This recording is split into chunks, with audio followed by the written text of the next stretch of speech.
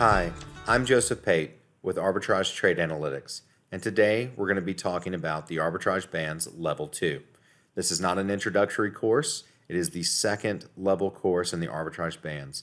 So we're going to dive right into it. Uh, this does assume that you've watched the previous videos and you understand all the parts of this band. Um, one of the things that our uh, viewers uh, have recommended and asked about, uh, I want to start with, is some people are colorblind. Uh, some people have visual issues. Uh, and TradingView uh, has a great level of style options and customizations. So right here, when you're looking at any of the indicators you have up, you can hit the settings cogwheel. the inputs are how you can turn things on and off about the indicator itself. Uh, you can see different things, not see different things, focus on things. Really play with that. We're going to get into why you would have some on and some off in later strategy videos. But what I want to focus on now is the style. Every single part of the band can be changed. Every item that has a color or a line can be changed in a variety of ways. Um, the most commonly asked is this red green, obviously. Um, so right here, we're going to click on the green and maybe you want it to be purple. And maybe you want the red to be black. And by default, these aren't all the way opaque. They're at 90%. So you can go ahead and make those 100% or make them really pop. And there you have it. You've got uh, different color candles. You can make the background different color. Um, also, um, if you don't like that anymore, you can go up back to the style and you can always go to the defaults button at the bottom and hit reset settings. Now, if you do find settings that you love, you can always hit save as default. Be careful with that. I'm not sure how to set the default back to the default except fixing your colors and then setting that as the new default. So, uh, but just know it's there. You can reset everything and you can set every little part differently. Uh, there is also a night mode. Um, I know a lot of traders uh, enjoy the night mode. You can hit your little three uh, menu button up here in the top left. Uh, the hamburger menu is a lot referred to. And there is a dark color theme. And when you do that, uh, everything really pops. And you can change all these colors as well. Uh, it just depends on your eyes, what you prefer, whatever's going to help you be a more successful trader. Now, one caveat to all of this um, night mode is one thing, or dark mode uh, is, is a preference. But when you start changing the colors, uh, if you need to, great, go for it. But if you don't need to and you just want to change all the colors, know that we're working in a community. And if you send a screenshot to someone and they're trying to help you learn the bands or see where you went right or see where you went wrong, it really does help to have consistency. So I wouldn't just go changing things from the default unless there's uh, a good reason, uh, but know that it's there and know that you have that power. Um, so we're going to dive right into the bands itself. Um, so we have all the parts, and I want you to focus on the mean, the middle, the mean, uh, technically, of this band.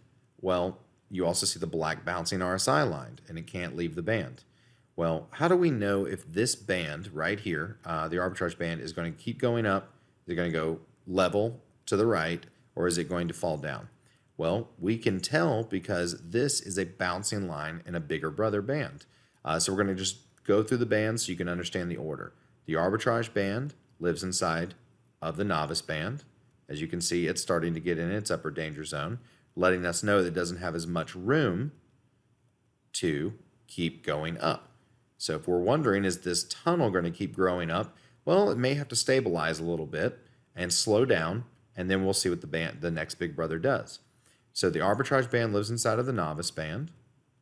The novice band, which has a mean that is a blue colored line, lives inside of the intermediate band. You can see it bouncing around in here. Intermediate lives inside of advance and Advance lives inside of Apocalypse. Now, um, the Apocalypse band and the Arbitrage band are the two most commonly used. We'll even sometimes leave them on at the same time. What's really interesting is you can see, I'm going to show you a very cool, I wasn't going to get into strategy, but why not? Um, so right here, the Arbitrage band is bouncing, its lines going, get in, get out, make some good profit. Well, one of the things that kept this band from keep going up, uh, you could check the novice band, but there are bigger celestial bodies at play, if you will. There's these giant orbitals. We we converted a lot of these bands as uh, they have their own gravity and their own pull.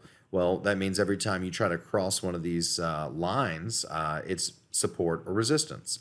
So I'm going to turn on that apocalypse band again, and you'll notice that this little guy, the arbitrage band, is living, and it gets close to this pulse, the RSI, uh, we call it the pulse, the purple line of the apocalypse band, and it bounces off, bounces off. But when it does break through, when a when a line crosses another major line, wow, it is usually very good or very bad. And as you can see here, this is a good example of you you can buy in here on the uh, arbitrage band, but when it crosses here and you get another, there's actually another indicator here.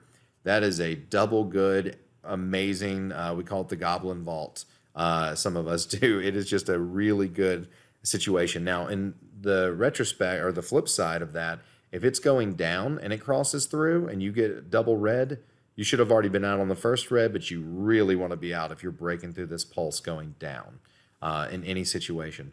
Um, so these parts of this band are extremely helpful in understanding where it's going to go next. So play with it.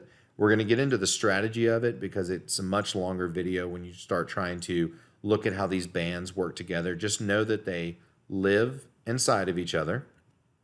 It gets very messy if you have them all turned on at the same time. Um, there's actually some really good strategies if these don't look messy. Sometimes they're all coiled up at the top or the bottom, and um, it's a really, really cool, interesting uh, trade when that happens. Uh, but let me turn these off.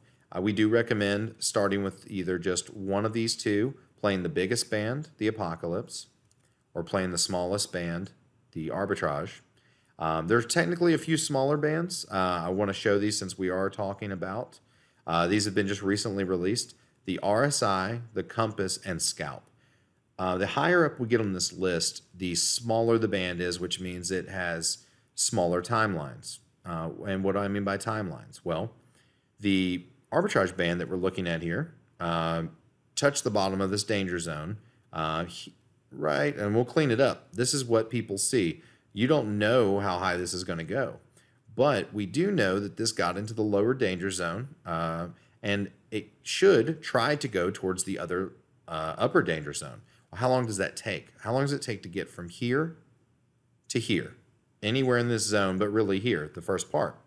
Well, we have found through math um, a law of averages, and this is our current um, mathematical output. Uh, we are looking at the hourly chart, as you can tell right up here at the top. Uh, and that hourly chart, we're looking at the arbitrage band. So it's just a little uh, table. You can just look at the hourly chart, the arbitrage band, and that's three to 12 days. Now that's trading days. Uh, weekends don't count. So three to 12 trading days is the average amount of time it takes to get from one side of the band to the other. Now, remember, this is averages. For every stock that takes 14 days to do it, there's one that does it in one or two days. Um, so it's just the average. Well, let's let's see if this matches up. April 22nd, as we can see at the bottom, is right about when this first touched. And it really kind of touched in right here. That's April 28th. That's six days, which is right smack dab in the middle of our averages. So you can tell that this is uh, definitely very accurate. Uh, these numbers keep getting updated as we get more data, uh, but it helps you predict how long it's going to take you to enter or exit your trade. Um, we have a lot of other indicators, but you do need to be able to predict uh, your timelines. Maybe you're trying to get into another uh, stock um, in the future and you want to know, am I going to be in this for three months or am I going to be in this for three days? And our windows of opportunity are right there to help you uh, understand and learn and estimate how long it's going to take you uh, to be in that trade to get to where you want to be. Thank you so much and have a great day.